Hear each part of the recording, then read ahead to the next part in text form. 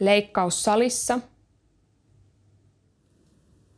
Leikkaussalissa hoitaja ohjaa sinua ja tarkkailee vointiasi leikkauksen ajan.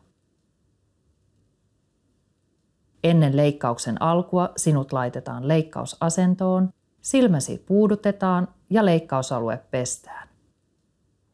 Kaihileikkaus on yleensä varsin nopea toimenpide, joka tehdään paikallispuudutuksessa.